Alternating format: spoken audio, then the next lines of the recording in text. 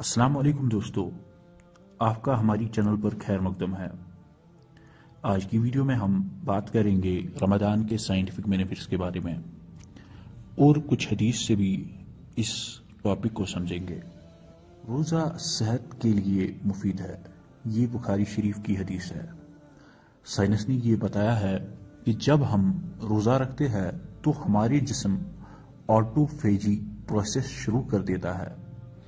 ये एक natural process होता है, जिसमें हमारे सेल्स अपने आप को रिपेयर करते हैं और डैमेजेड पार्ट्स को रिमूव करते हैं। इससे हमारी बॉडी यंग और हेल्दी रहती है।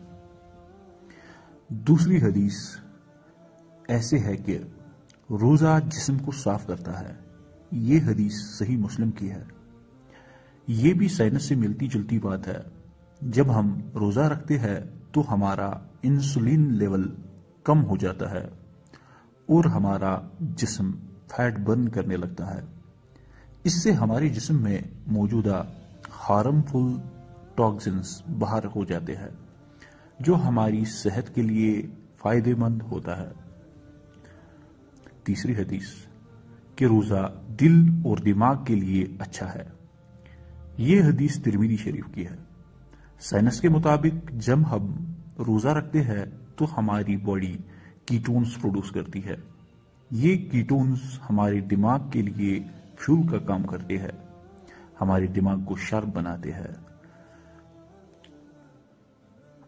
तो दोस्तों ये थे कुछ साइंटिफिक बेनिफिट्स रमज़ान के जो, जो हदीस से भी साबित होते हैं।